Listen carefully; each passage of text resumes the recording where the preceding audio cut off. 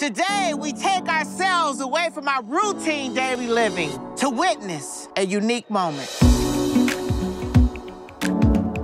What does she think is happening? I told her that it was going to be a gender reveal party. No one knows. Tiffany definitely deserves a wedding of her dreams. It would be great to surprise her. No! Oh my God! so you know what you're gonna say? No, it was just being in the moment. Will you marry me and make me the happiest man? How do you feel about getting married at the end of the week? We're doing this this weekend. Are you kidding me? Our friends and family, coworkers are all coming. Slight panic attack, but we'll work it. I have a very successful design firm in New York and LA. 7,000 Roses! Yes! I may be small with weird hair, but I'm very effective. Celebrities are wearing my design on the red carpet, but there's something powerful when the bride puts on the wedding gown. It's just pure magic. We come up with this design. Love it! I haven't said anything.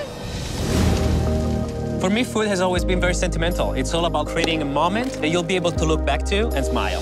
In this case, it's a surprise wedding. In case it's not said to you a million times a day, it's important that you know like how special the two of you are. I want to do everything that I can to make sure that that spark returns to Tiffany's eye. Nothing like this ever happened to me before. Thank you so much. You're welcome. It's beautiful.